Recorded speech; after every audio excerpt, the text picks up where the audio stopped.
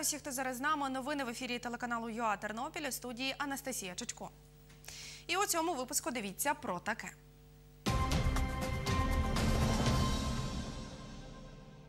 Верховна Рада ухвалила закон про відкриті виборчі списки. Шестеро із восьми нардепів з Тернопільської області проголосували за. Представники виборчих дільниць області взяли участь у навчаннях від Центр виборчкому і Міжнародної фундації виборчих систем. Агітаційні плакати в неналежному місті. Спостерігачі опори зафіксували 9 можливих порушень передвиборчої агітації на Тернопільщині.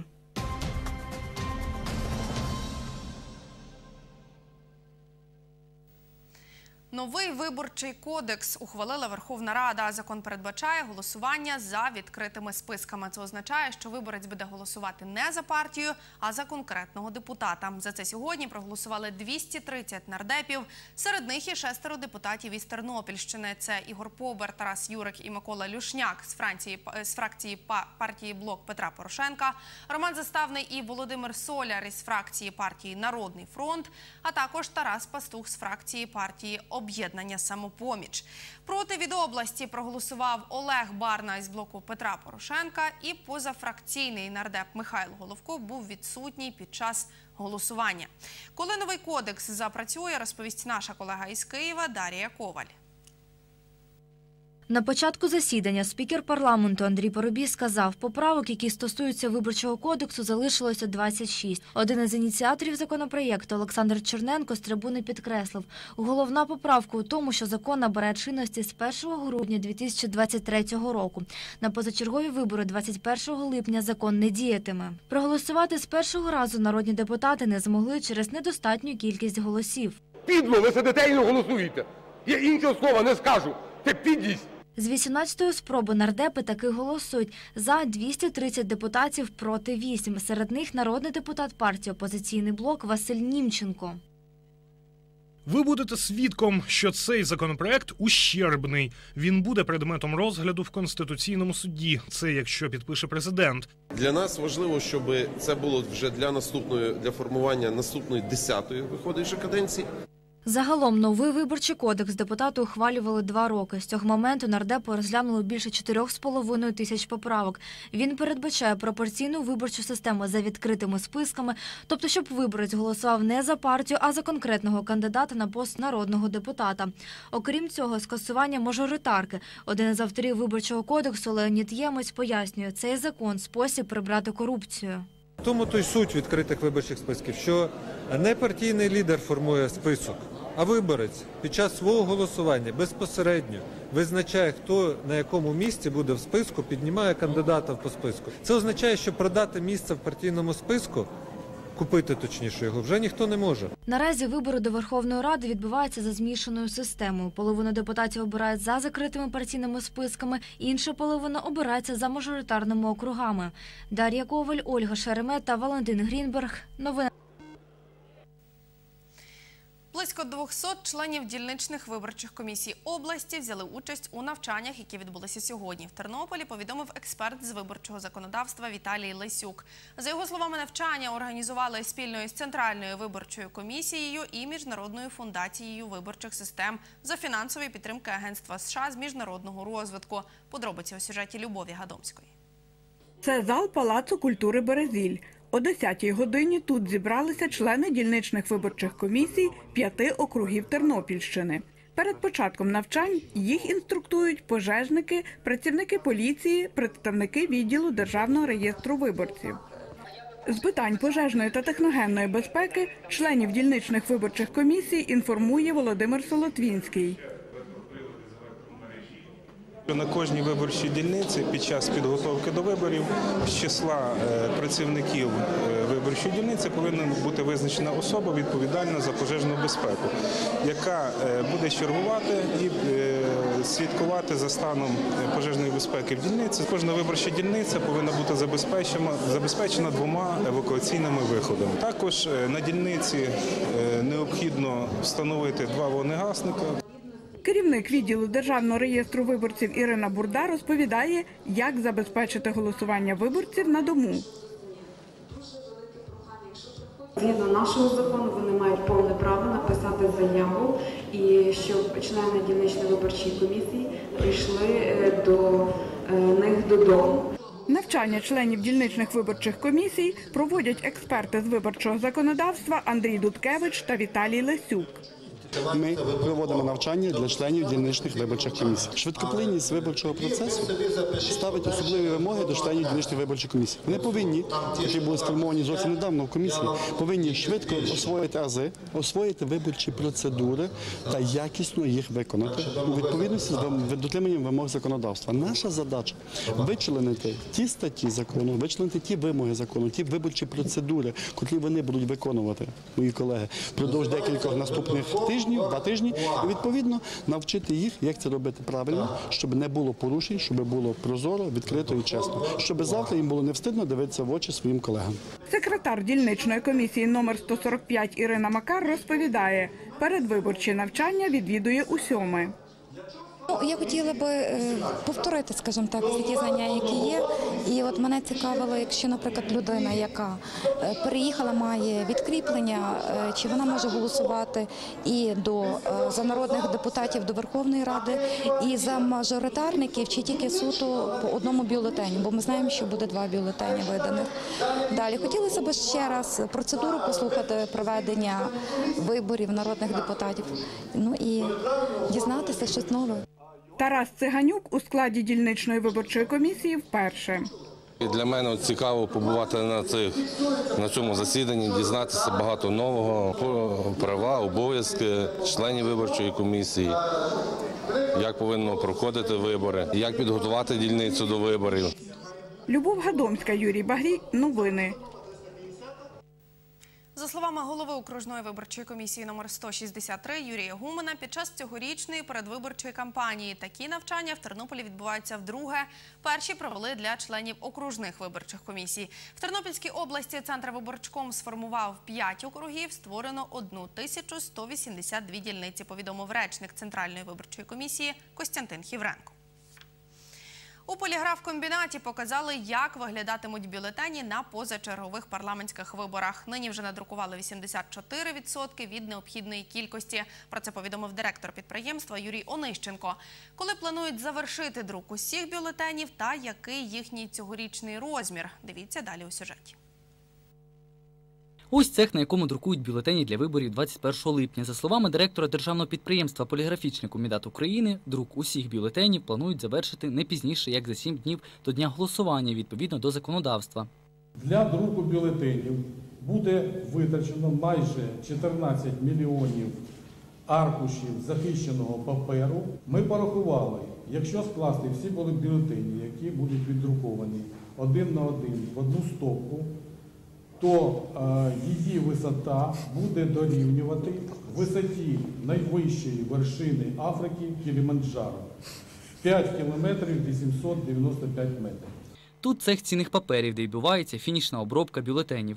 Саме сюди надходять вже віддруковані, віднумеровані аркуші. Тут вони розрізаються, перераховуються і упаковуються відповідно до рознарядок Центральної виборчої комісії. Виготовлення одного бюлетеня у загальнодержавному виборчому окрузі коштує 4 гривні 20 копійок. У мажоритарних залежно від формату вартості від 2 гривень 28 копійок до 4 гривень 68 копійок. Бюлетені мають 8 ступенів захисту і друкуються на папері вітчизняного виробництва. Один із багатьох видів захисту, який є в цьому бюлетні, ми можемо побачити тут, на цьому приладі. Будь ласка. Для голосування в багатомандатному окрузі бюлетень буде завдовжки 60 см. В одномандатних округах розмір залежатиме від кількості кандидатів. На сьогодні найменша кількість кандидатів 5, це 188-й виборчий округ Хмельницький. І е, найбільша кількість кандидатів 46, це 133-й виборчий округ Одеса. Найменший бюлетень до шести кандидатів буде 20 сантиметрів, найдовший до півсотні кандидатів 80 сантиметрів. Прізвища розміщуватимуться в алфавітному порядку. У разі повного збігу прізвищ, імен та по батькові кандидатів в одному окрузі розміщуватимуть за віком. Для кожної дільниці бюлетені замовляють із запасом. Тарас Бестянович, Ігор Якубчик. Новини. За словами начальниці відділу Державного реєстру виборців Ірини Бурди, в Тернополі 176 тисяч 340 виборців, які мають виборчу адресу, проголосувати на позачергових парламентських виборах вони матимуть можливість 21 липня. Дев'ять випадків можливого порушення передвиборчої агітації зафіксували спостерігачі опори на Тернопільщині. Повідомила координаторка спостереження опори Ольга Галушка. За її словами, у Гусятині спостерігачі побачили плакати шести кандидатів у народні депутати на електроопорах.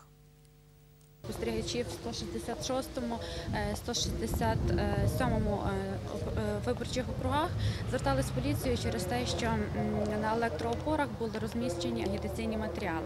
Е, Закон України про вибори народних депутатів прямо не забороняє, тобто не вказано, що на електроопорах не можна розміщувати е, агітацію. Проте в е, 68 статті е, зазначено форми та засоби ведення агітації. Е, Крім того, в законі зазначено, що органи місцевої місцевої влади та місцевого самоврядування мають виділити відповідні місця для агітації. Е, Також е, правила ведення благоустрою також е, зазначають, що е, не можна е, розміщувати будь-яку рекламу на електроопорах. Ми зателефонували до цих кандидатів.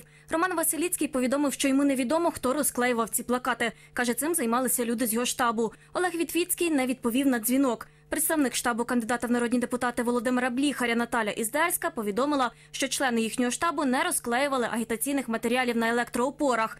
Представник штабу Зиновія Холоднюка, який відмовився назвати своє прізвище, повідомив, що їхній штаб розклеював агітаційні плакати тільки в дозволених місцях. Кандидат у народні депутати Ігор Сопель відповів, що плакати розклеювали волонтери. За його словами, він розповідав їм, де дозволено розклеювати агітацію. Також Ігор Сопель повідомив, що помітив антиагітацію проти нього в соцмережах. каже, збирається написати заяву в поліцію.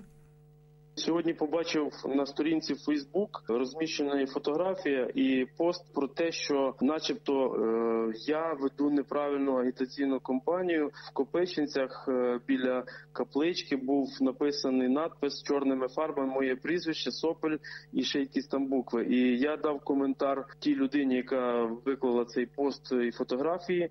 Написав буквально за декілька хвилин цей пост був видалений з Фейсбука, і в мене є бажання поїхати туди на це місце і зробити заяву, позвонити на 102 в поліцію, і оформити все згідно з чинного законодавства.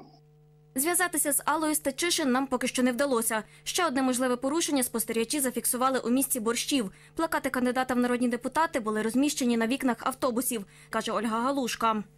Був випадок, коли в е, ем, транспорт, громадському транспорті на вікні була е, наліпка е, такого досить великого формату, приблизно А4, е, з агітацією за кандидатом народні депутати. Також, за словами Ольги Галушки, у Борщеві зафіксували плакат кандидата-мажоритарника без вихідних даних. Зв'язатися з цим кандидатом поки що не вдалося. Плакат кандидата в народні депутати спостерігачі опори побачили на фасаді палацу спорту на бульварі Данила Галицького в Тернополі. Е, Були зафіксовані випадки, коли на будівлі е, державної комунальної форми власності була розміщена агітація, що заборонено законом. Ми зателефонували до кандидата у депутати Ігоря Побера, який зображений на плакаті. Він сказав, що не може говорити і обіцяв перетелефонувати пізніше. Про випадки, які мають ознаки порушення агітації, спостерігачі повідомили в поліцію, каже Ольга Галушка. Речник Нацполіції області Сергій Крета повідомив, що поліцейські прокоментують ситуацію завтра. Сьогодні президент України Володимир Зеленський звільнив сім голів райдержадміністрації на Тернопільщини. Гусятинської Віталія Батога, Заліщицької Бориса Шепітку, Лановецької Юліана Сіранта, Монастириської адміністрації Степана Бойка, Підволочиської Бориса Однищука, Підгаєцької Алли Колодницької і Чортківської Оксану Чайчук. Про це новинам повідомила прес-секретар Тернопільської облдержадміністрації Ірина Кошіль. Причина звільнення закінчення строку повноважень попереднього президента. Нагадаю, 9 липня президент звільнив чотирьох посадовців: Людмилу Юськів з посади голови Борщівської райдержадміністрації, Ігоря Яворського з посади голови Зборівської РДА, Юрія Ништу з посади голови Теребовлянської адміністрації та Олександра Похилого з посади голови Тернопільської райдержадміністрації.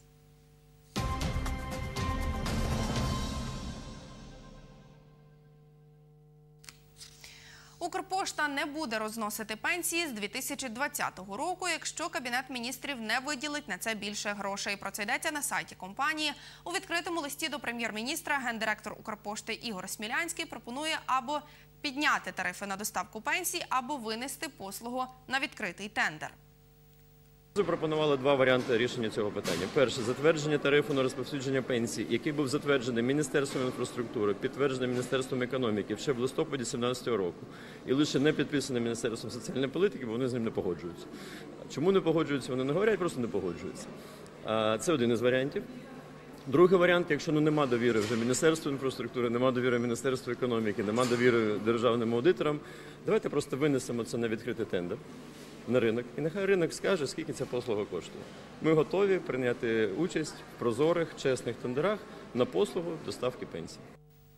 В Тернопільській дирекції Укрпошти більше 50% пенсіонерів області обслуговує понад тисячу листонож. В області є 5 сотень відділень, розповіла директор Тернопільської дирекції Укрпошти Любов Гринчишин. тариф, е, по якому ми доставляємо пенсію, є для нас збитковим, тому що е, за період, е, який е, за той період, коли тариф не переглядався, значно зросли ціни і на бензини, і на транспорт. е, І ми також е, хотіли би платити достойні зарплати листоношам. Ми би хотіли вкладати більше грошей в е, ремонт відділень, е, покращувати умови для обслуговування наших пенсіонерів. Але на жаль, е, в зв'язку з тим, що ми працюємо по збитковому тарифу, у нас не вистачає коштів. І тому ми вже зараз, е, поки що є достатньо часу до кінця року, б'ємо на сполох. Станом на 1 липня на Тернопільщині через банківську систему пенсії отримують 133 тисячі 993 пенсіонери. По пошті виплати отримують 141 тисяча 673 особи, повідомила начальниця управління з питань виплати пенсії Пенсійного фонду в області Тетяна Глух. Сьогодні 15 нацгвардійців на театральному майдані Тернополя разом із жителями міста взяли участь у челенджі «Зачекінься з нацгвардійцем». Його започаткувала друга окрема галицька бригада. Під час цієї акції охочі можуть зробити селфі з військовослужбовцем Нацгвардії, запостити фото у соцмережі і позначити друга. Також потрібно вписати хештег NGU Тернопіль. За найкраще фото учасники челенджу отримують подарунок від військових. Наша знімальна група поспілкувалася із тернополянами і службовцями Нацгвардії, які долучилися до челенджу. Я журналіст військової тематики і з даною структурою співпрацюю вже більше року.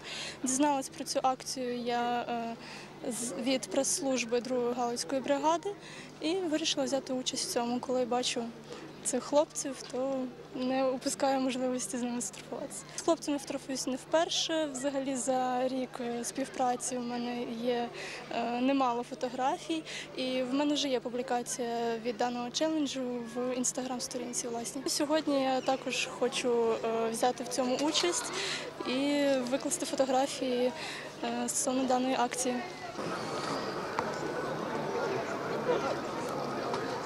Щоб потім не казали, що я інтерв'ю давав.